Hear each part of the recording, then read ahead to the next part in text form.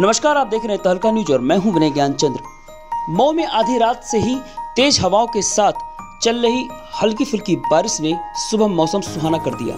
हालाँकि देश के पश्चिमी तट से टकराए तूफ़ान से, जहाँ गुजरात, महाराष्ट्र सहित मध्य प्रदेश में इसका असर देखा गया है, वहीं उत्तर प्रदेश में आधी रात से ही बादल छाए हुए थे।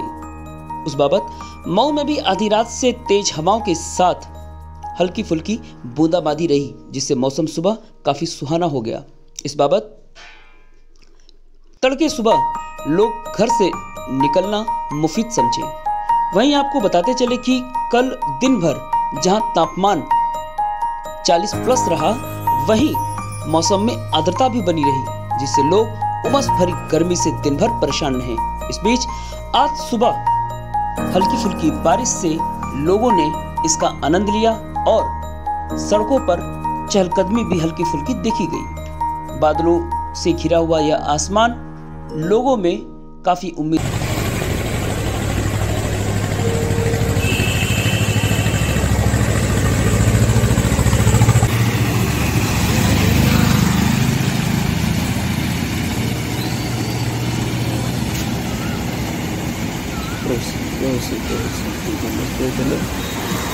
de los de los